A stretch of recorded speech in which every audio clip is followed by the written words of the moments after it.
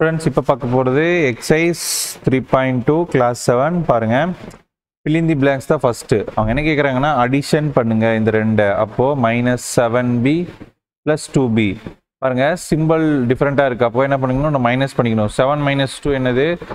Five அதை B அப்படியே போட்டுக்கோம். சி கிரேட்டர் நம்பர் சைன் என்னது? மைனஸ் அப்போ மைனஸ் போட்டால் முடிஞ்சு. இதோட answer minus five B right அடுத்து subtract five M from minus three M அதாவது மூணு எம் எடுத்துக்கோங்க.